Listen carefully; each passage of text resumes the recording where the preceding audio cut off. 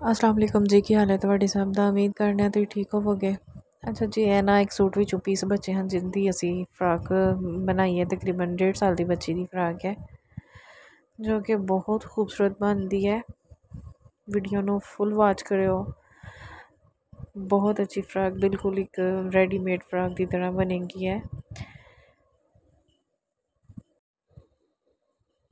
ਅੱਛਾ ਜੀ ਦੀ ਕਟਿੰਗ ਮੈਂ ਕਰ ਲਈ ਹੋਈ ਹੈ, ਠੀਕ ਹੈ। ਇਹ ਕੁਛ ਇਸ ਤਰ੍ਹਾਂ ਇਹਦੇ ਜਿਹੜੇ ਡਲ ਕੇ ਦੇ ਅਟੈਚ ਹੋਏਗੀ ਪੇਟੀ ਦੇ ਨਾਲ। ਇਹ ਪੇਟੀ ਦੇ ਨੀਚੇ ਮੈਂ ਨਾ ਡਬਲ ਪੇਟੀ ਦੀ ਕਟਿੰਗ ਕੀਤੀ ਇਹਦੇ ਨੀਚੇ ਲਾਉਣ ਦਾ ਕੱਪੜਾ ਲਗਾਉਣਾ ਹੈ। ਅੱਛਾ ਜੀ, ਇਹੀ ਲੈਸ ਲਗਾ ਲਾਂਗੇ।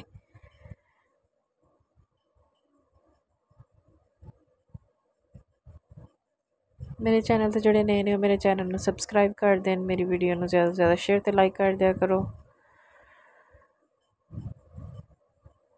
ਅੱਛਾ, ਜੀ ਲੈਸ ਦੇ ਵਿੱਚ ਨਾ ਤੁਸੀਂ ਥੋੜ੍ਹਾ ਸਾਰਾ ਫਾਸਲਾ ਰੱਖਣਾ ਹੈ, ਸਮਝ ਲਓ ਤਕਰੀਬਨ 3 ਪੁਆਇੰਟ ਦਾ ਫਾਸਲਾ ਤੁਸੀਂ ਰੱਖ ਲੈਣਾ ਹੈ, ਕਿਉਂਕਿ ਹੀ ਨਾ ਇਹਦੇ ਦਰਮਿਆਨ ਵਿੱਚ ਪੱਟੀ ਲਗਾਣੀ ਹੈ।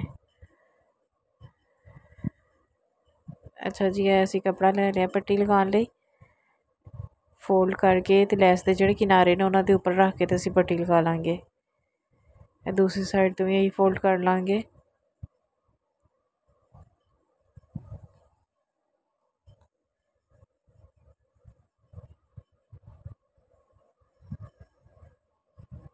ਚਲੋ ਜੀ, ਇਹ ਤਾਂ ਲੱਗ ਗਈ ਹੁਣ ਅਸੀਂ ਜਿਹੜੀ ਇਹਦੇ ਨਾਲ ਨੀਚੇ ਲਾਉਣ ਦਾ ਪੀਸ ਕਟਿੰਗ ਕੀਤਾ ਹੋਇਆ, ਇਹਨੂੰ ਅਟੈਚ ਕਰ ਲਾਂਗੇ। ਗਲੇ ਦੀ ਸਲਾਈ ਲਗਾਵਾਂਗੇ ਤੇ ਤੁਸੀਂ ਵਿੱਚ ਕਪੜਾ ਜਿਹੜਾ ਨਾ, ਬਹੁਤ ਜ਼ਿਆਦਾ ਨਹੀਂ ਦੇਣਾ ਹੈਗਾ ਸਲਾਈ ਦੇ ਵਿੱਚ, ਯਾਨੀ ਕਿ ਇੱਕ ਹਾਫ ਇੰਚ ਹੁੰਦਾ ਹੈ ਹਾਫ ਇੰਚ ਤੋਂ ਵੀ ਕਮ ਦੇਣਾ ਠੀਕ ਹੈ। ਕਿਉਂਕਿ ਇੱਕ ਤੇ ਖੱਦਰ ਦਾ ਕਪੜਾ ਤੇ ਇੱਕ ਲਾਉਣ ਦਾ, ਤੇ ਇਸ ਲਈ ਉੱਪਰ ਇਹਦੇ ਤੇ ਬਰੀਕ ਸਲਾਈ ਲੱਗ ਜਾਣੀ ਹੈ। ਇੱਥੇ ਰੱਖ ਕੇ ਸਲਾਈ ਲੱਗ ਜਾਏਗੀ ਤੇ ਨਿਕਲੇਗੀ ਨਹੀਂ। ਇਸ ਲਈ ਸਾਨੂੰ ਜ਼ਰੂਰਤ ਨਹੀਂ ਹੈ ਕਿ ਅਸੀਂ ਸਿਲਾਈ ਦੇ ਵਿੱਚ ਨਾ ਬਹੁਤ ਜ਼ਿਆਦਾ ਕੱਪੜਾ ਦਈਏ। ਇਹ ਤੁਸੀਂ ਕਿਨਾਰੇ ਤੇ ਸਿਲਾਈ ਲਗਾ ਲੈਣੀ ਹੈ। ਜਿਹੜਾ ਅੰਦਰ ਵਾਲੀ ਯਾਨੀ ਕਿ ਨੀਚੇ ਕੱਪੜਾ ਲਗਾਇਆ ਨਾ, ਉਹਦੇ ਉੱਪਰ ਰੱਖ ਕੇ ਤੁਸੀਂ ਸਿਲਾਈ ਲਗਾਣੀ ਹੈ। ਇਹ ਲੋ ਜੀ, ਇਹ ਸਾਡੀ ਅਗਲੀ ਬੇਟੀ ਤੇ ਤਿਆਰ ਹੋ ਗਈ। ਹੁਣ ਇਹ ਦੇਖੋ, ਮੈਂ ਨਾ ਬੈਗ ਜਿਹੜੀ ਹੈ ਤਿਆਰ ਕਰ ਲਈ ਹੋਈ ਸੀ ਤੇ ਕੈਮਰਾ ਪਤਾ ਹੀ ਨਹੀਂ ਚੱਲਿਆ ਕਿਸ ਟਾਈਮ ਵੀਡੀਓ ਬੰਦ ਹੋ ਗਈ। ਚਲੋ ਇਹਨੂੰ ਮੈਂ ਕਿਹਾ, ਖੋਲ੍ਹ ਕੇ ਤੁਹਾਨੂੰ ਦੱਸ ਦਿੰਦੇ ਹਾਂ ਕਿ ਮੈਂ ਕਿਸ ਤਰ੍ਹਾਂ ਬਣਾਈ। ਇਹਨੂੰ ਖੋਲ੍ਹ ਲੈਂਦੇ ਹਾਂ। ਜ਼ਰਾ ਪਤਾ ਹੀ ਨਹੀਂ ਚੱਲਿਆ ਹੈ ਕਿ ਵੀਡੀਓ ਨਹੀਂ ਬਣਦੀ ਪਈ ਹੈ। ਮੈਂ ਕਿਹਾ, ਫਾਇਦਾ ਤਾਂ ਕੋਈ ਨਹੀਂ ਹੈ, ਅਗਰ ਤੁਹਾਨੂੰ ਪਤਾ ਨਾ ਚੱਲੇ ਕਿ ਇਹ ਕਿਸ ਤਰ੍ਹਾਂ ਤਿਆਰ ਕੀਤੀ ਗਈ ਹੈ। ਇੱਕ ਸਾਈਡ ਮੈਂ ਖੋਲ੍ਹ ਕੇ ਤੁਹਾਨੂੰ ਦੱਸ ਰਹੀ ਹਾਂ। ਅੱਛਾ ਜੀ, ਇਹ ਦੇਖੋ, ਇਹ ਨਾ ਇਸ ਤਰ੍ਹਾਂ ਉੱਪਰੋਂ ਮੈਂ ਇਹਦੇ ਯਾਨੀ ਕਿ ਸਿਰੇ ਦੀ ਸਲਾਈ ਲਗਾ ਕੇ ਇਹਨੂੰ ਬੰਦ ਕਰ ਲਿਆ ਸੀ। ਇਹ ਕੱਪੜੇ ਦੀ ਜਿਹੜੀ ਚੌੜਾਈ ਹੈ 2 ਇੰਚ ਹੈ। ਠੀਕ ਹੈ, ਇਹਨੂੰ ਇਸ ਤਰ੍ਹਾਂ ਕਰਾਂਗੇ ਤਾਂ ਇੱਕ ਇੰਚ ਹੋ ਜਾਏਗੀ, ਉੱਪਰ ਇਹਨੂੰ ਮੈਂ ਸਲਾਈ ਖਾਲੀ ਹੋਈ ਸੀ। ਇਸ ਤਰ੍ਹਾਂ ਇੱਕ ਪੱਟੀ ਤਿਆਰ ਕਰ ਲਾਂਗੇ। ਤੇ ਇਹਨੂੰ ਪੇਟੀ ਦੇ ਉੱਪਰ ਰੱਖ ਲੈਣਾ ਤੁਸੀਂ, ਜਿੰਨਾ ਤੁਸੀਂ ਉੱਪਰੋਂ ਸਲਾਈ 'ਚ ਕੱਪੜਾ ਦੇਣਾ ਨਾ ਉਹਨਾਂ ਛੋੜ ਕੇ ਤੇ ਫਿਰ ਰੱਖਣਾ ਤੇ ਇਸ ਤਰ੍ਹਾਂ ਹੀ ਜਿਸ ਤਰ੍ਹਾਂ ਹੀ, ਯਾਨੀ ਕਿ ਫਰੰਟ ਸਾਈਡ ਤੇ ਤੁਸੀਂ ਲਗਾਈ ਨਾ ਸਲਾਈ ਬਹੁਤ ਜ਼ਿਆਦਾ ਕੱਪੜਾ ਨਹੀਂ ਦੇਣਾ, ਠੀਕ ਹੈ?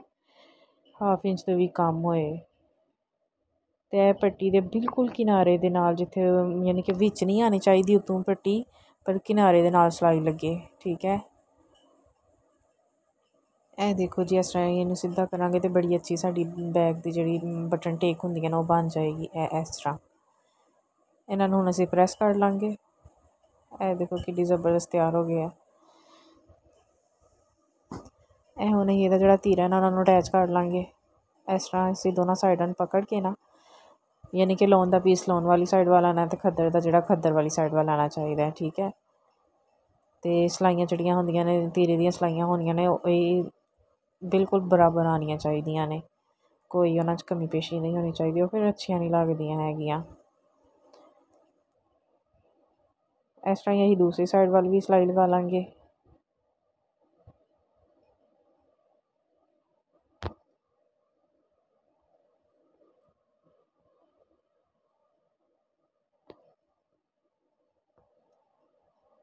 माशाल्लाह बहुत अच्छी लग रही बन के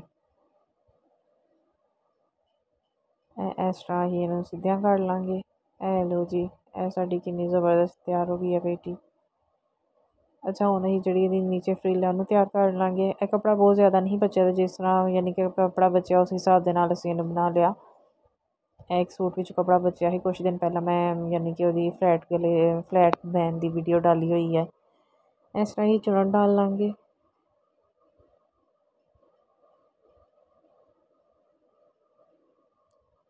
ਹਲਕੇ ਹਲਕੇ ਤੁਸੀਂ ਚੂਰਨ ਡਾਲ ਲੈਣੇ ਨੇ ਜਿੰਨੀ, ਯਾਨੀ ਕਿ ਤੁਹਾਨੂੰ ਪੇਟੀ ਦੇ ਹਿਸਾਬ ਦੇ ਨਾਲ ਹੋਏ ਕਿ ਇੰਨੇ ਚੂਰਨ ਡਾਲੇ ਜਾ ਸਕਦੇ ਨੇ, ਉਸ ਹਿਸਾਬ ਨਾਲ ਤੁਸੀਂ ਚੂਰਨ ਡਾਲ ਲੈਣੇ ਨੇ।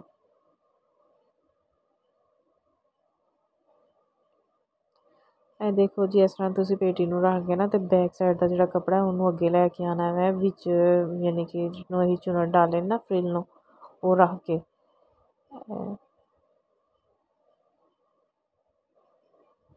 ਇਹ ਦੇਖੋ ਹੀ ਰੱਖ ਕੇ ਦੇਖ ਲਾਂਗੇ ਕਿ ਸਹੀ ਹੈ, ਬਿਲਕੁਲ ਸਹੀ, ਬਰਾਬਰ ਆਈ ਹੈ। ਅਸੀਂ ਹੁਣ ਇਸ ਤਰ੍ਹਾਂ ਇਹਨੂੰ ਇੱਕ ਦੂਸਰੇ ਦੇ ਉੱਪਰ ਰੱਖ ਲੈਣਾ ਹੁਣ ਇਹ ਜਿਹੜੀ ਬੈਕ ਤੋਂ ਤੁਸੀਂ ਜਿਹੜਾ ਲਾਉਣ ਦਾ, ਇਹਦੀ ਬੈਕ ਤੇ ਲਾਉਣ ਦਾ ਜਿਹੜਾ ਪੀਸ ਹੈ, ਉਹਨੂੰ ਤੁਸੀਂ ਫਰੰਟ ਤੇ ਲੈ ਕੇ ਆਣਾ ਠੀਕ ਹੈ? ਯਾਨੀ ਕਿ ਗੁੰਮ ਸਲਾਈ ਲੱਗ ਜਾਏਗੀ। ਇਸ ਤਰ੍ਹਾਂ ਰੱਖ ਕੇ ਤੁਸੀਂ ਇਹਨੂੰ ਸਲਾਈ ਲਗਾ ਲੈਣੀ ਹੈ। ਇਹ ਥੋੜਾ ਸਾਰਾ ਮੁਸ਼ਕਿਲ ਲੱਗਦਾ ਪਰ ਇਹ ਹੈ ਕਿ ਆਸਾਨੀ ਨਾਲ ਹੋ ਜਾਂਦਾ ਹੈ। ਬਸ ਜਿਹੜਾ ਤੁਸੀਂ ਵਿੱਚ ਕੱਪੜੇ ਹੋਣੇ ਨੇ, ਉਹਨਾਂ ਨੂੰ ਤੁਸੀਂ ਇੱਕ ਹੱਥ ਦੇ ਨਾਲ ਨਾ ਤੁਸੀਂ ਅੰਦਰ ਕਰ ਦੇਣਾ ਤਾਂ ਕਿ ਸਿਲਾਈ ਦੇ ਵਿੱਚ ਬਾਕੀ ਜਿਹੜੇ ਪੀਸ ਕੱਪੜੇ ਨੇ ਨਾ, ਉਹ ਨਾ, ਉਹਦਾ ਕੋਈ ਪੀਸ ਵਗੈਰਾ ਨਾ ਆਏ। ਉਹ ਫਿਰ ਮੁਸ਼ਕਿਲ ਹੋ ਜਾਏਗੀ। ਨਾਲ ਨਾਲ ਤੁਸੀਂ ਫਿੰਗਰ ਦੇ ਨਾਲ ਕੱਪੜੇ ਨੂੰ ਨਾ ਅੰਦਰ ਕਰ ਦੇਣਾ ਜਾਣਾ ਜਿਹੜੇ ਵਿੱਚ ਕੱਪੜੇ ਨੇ।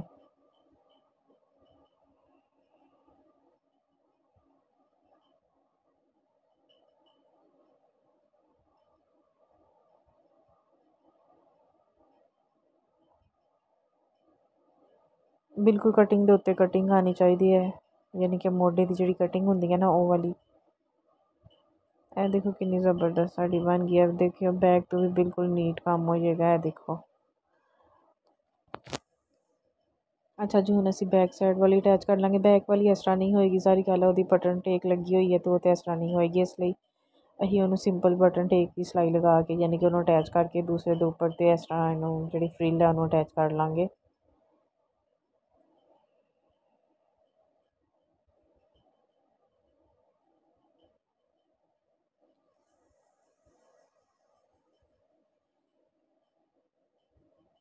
ਚਲੋ ਜੀ, ਇਹ ਸਾਡੀ ਤਿਆਰ ਹੋ ਗਈ। ਇਹ ਟਿਸ਼ੂ ਦਾ ਕਪੜਾ ਲਿਆ, ਠੀਕ ਹੈ? ਤੇ ਇਹ ਮੈਂ ਉੱਪਰ ਲੈਸ ਦਾ ਜਿਹੜੀ ਸਿੱਧੀ ਸਾਈਡ ਰੱਖੀ ਹੈ। ਲੈਸ ਦੀ ਸਿੱਧੀ ਸਾਈਡ ਦੇ ਉੱਪਰ ਮੈਂ ਕਿਨਾਰੇ ਦੇ ਉੱਤੇ ਜਿਹੜਾ ਵਾ ਨਾ ਯਾਨੀ ਕਿ ਫਰਾਕ ਦਾ ਕਪੜਾ ਲਗਾ ਲਿਆ, ਇਹਦੀ ਮੈਂ ਪੱਟੀ ਬਣਾ ਲਾਂਗੀ। ਇਹਨੂੰ ਜਦੋਂ ਪਲਟਾ ਕੇ ਹੀ ਸਿੱਧਿਆਂ ਕਰਾਂਗੇ ਨਾ ਇਹ ਪੱਟੀ ਤੇ ਲੈਸ ਜਿਹੜਾ ਇਹਦਾ, ਲੈਸ ਦਾ ਰੁਖ ਸਿੱਧਾ ਹੋ ਜਾਏਗਾ ਤੇ ਪੱਟੀ ਜਿਹੜੀ ਸਿੱਧੀ ਸਾਈਡ ਵੱਲ ਚਲੀ ਜਾਏਗੀ।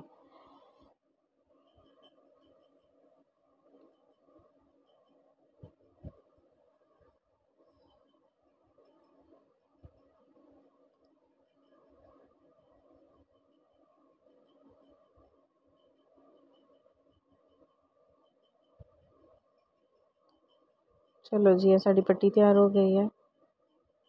ਅਸੀਂ ਹੁਣ ਇਹਨੂੰ ਫਰਾਕ ਦੇ ਨਾਲ ਅਟੈਚ ਕਰ ਲਾਂਗੇ, ਫਰਾਕ ਦੀ ਫਰਿਲ ਦੇ ਨਾਲ। ਇਹਦੀ ਉੱਪਰ ਜਿਹੜੀ ਸਿਲਾਈ ਆ, ਉਹ ਚਲਾ ਲਾਂਗੇ।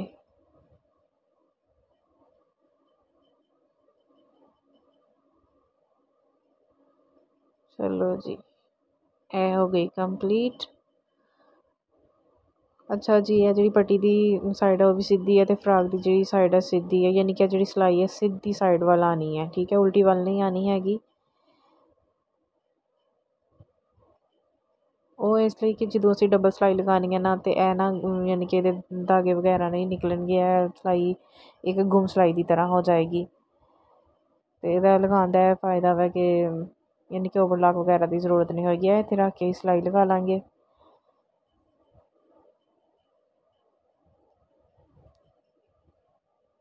ਲੋ ਜੀ ਸਿਲਾਈ ਕੰਪਲੀਟ ਹੋ ਗਈ ਹੈ ਹੁਣ ਇਹਦੇ ਉੱਪਰ ਨਾ ਜਿਹੜਾ ਸਕਿਨ ਵਾਲਾ ਕਪੜਾ ਉਹਦੇ ਉੱਤੇ ਯਾਨੀ ਕਿ ਜਿਹੜਾ ਫਰਿਲ ਦਾ ਕਪੜਾ ਉਹਦੇ ਉੱਤੇ ਤੁਸੀਂ ਬਰੀਕ ਬਿਲਕੁਲ ਕਿਨਾਰੇ ਦੇ ਉੱਤੇ ਰੱਖ ਕੇ ਤੁਸੀਂ ਸਿਲਾਈ ਲਗਾ ਦੇਣੀ ਹੈ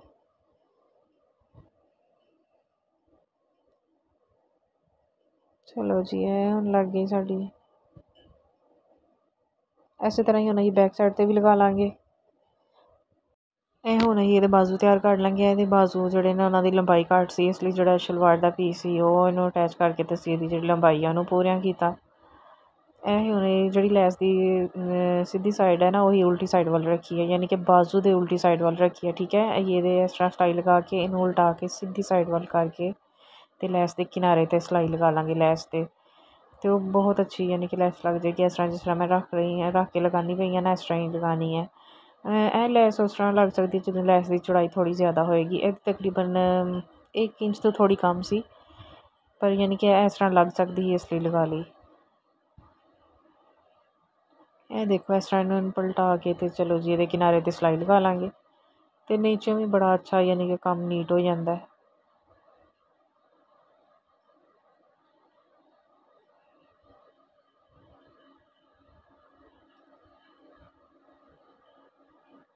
ਇਹ ਦੇਖੋ ਕਿੰਨਾ ਜ਼ਬਰਦਸਤ ਬਣ ਗਿਆ। ਚਲੋ ਜੀ, ਹੁਣ ਅਸੀਂ ਇਹਦੇ ਬਾਜ਼ੂ ਜਿਹੜੇ ਨੇ ਉਹਨਾਂ ਨੂੰ ਅਟੈਚ ਕਰ ਲਾਂਗੇ।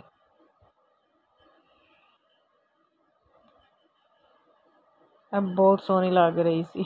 ਦਿਲ ਕਰ ਰਿਹਾ ਸੀ ਆਪ ਹੀ ਪਾ ਲਈਏ। ਪਰ ਪਾ ਨਹੀਂ ਨਾ ਸਕਦੇ। ਸਾਡੀ ਸਾਈਜ਼ ਦੀ ਨਹੀਂ ਹੈ। ਇਸ ਤਰ੍ਹਾਂ ਹੀ ਹੁਣ ਦੂਸਰਾ ਬਾਜ਼ੂ ਅਟੈਚ ਕਰਕੇ ਦੇ ਦੀਆਂ ਸਾਈਡਾਂ ਵਾਲੀਆਂ ਫਿਟਿੰਗ ਦੀਆਂ ਸਿਲਾਈਆਂ ਲਗਾ ਲਾਂਗੇ ਤੁਸੀਂ। ਇਹਦੀ ਫਾਈਨਲ ਲੁੱਕ ਦੇਖ ਕੇ ਤੇ ਬਈ ਜ਼ਰੂਰ ਦੱਸਿਓ ਤੁਹਾਨੂੰ ਕਿਸ ਤਰ੍ਹਾਂ ਦੀ ਲੱਗੀ। ਇਹ ਅਸੀਂ ਟਾਈ ਲਗਾ ਲਾਂਗੇ ਇਹਦੇ।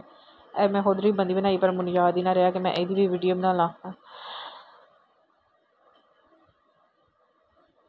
ਇਹਦੇ ਵਿੱਚ ਅਸੀਂ ਇੱਕ ਨਾਲ ਮੋਤੀ ਵੀ ਅਟੈਚ ਕਰ ਲਾਂਗੇ ਤਾਂ ਕਿ ਯਾਨੀ ਕਿ ਜਿਸ ਤਰ੍ਹਾਂ ਇਹਦੇ ਉੱਤੇ ਸਿਲਾਈ ਲੱਗੀ ਸੀ, ਉਹ ਸਿਲਾਈ ਕਵਰ ਹੋ ਜਾਏਗੀ ਤੇ ਵੈਸੇ ਵੀ ਲੱਗਿਆ ਹੋਇਆ, ਬਹੁਤ ਅੱਛਾ ਲੱਗੇਗਾ। ਇਹ ਦੇਖੋ ਜੀ ਕਿੱਡੀ ਸੋਹਣੀ ਲੱਗ ਰਹੀ ਹੈ। ਮਾਸ਼ਾਅੱਲਾ। ਇਹ ਦੇਖੋ ਕਿੱਡੀ ਕਮਾਲ ਲੱਗ ਰਹੀ ਹੈ ਨਾ, ਮਾਸ਼ਾਅੱਲਾ। ਚਲੋ ਜੀ, ਜਿਹਦੀ ਹੈ, ਅੱਲਾਹ ਤਾਲਾ ਨੂੰ ਪਾਣੀ ਨਸੀਬ ਕਰੇ। ਤੁਸੀਂ ਜ਼ਰੂਰ ਦੱਸਿਓ ਤੁਹਾਨੂੰ ਕਿਸ ਤਰ੍ਹਾਂ ਦੀ ਲੱਗੀ ਹੈ। ਮਿਲਨੇ ਆ ਨੈਕਸਟ ਵੀਡੀਓ 'ਚ। ਆਪਣਾ ਖਿਆਲ ਰੱਖਿਓ, ਦੁਆਵਾਂ 'ਚ ਯਾਦ ਰੱਖਿਓ। ਅੱਲਾ ਹਾਫਿਜ਼।